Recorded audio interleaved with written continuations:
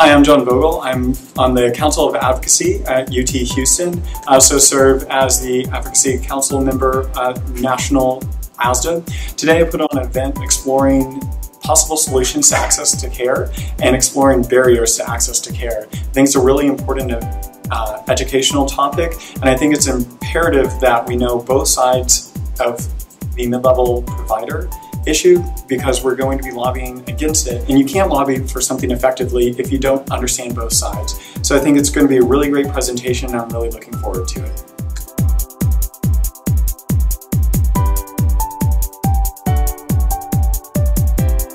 I'm really excited about this event because it's going to show two views of the same issue that is definitely going to affect our careers.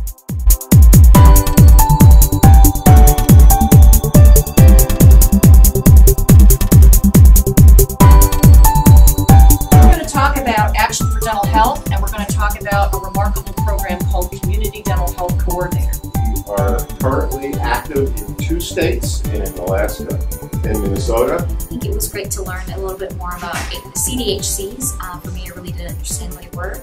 Uh, but coming from an underserved community myself, I saw firsthand when I was shadowing dentists that many people in underserved don't know uh, where they can get the care that they need. And so I think this, the CDHCs can really help um, address that. Thank you.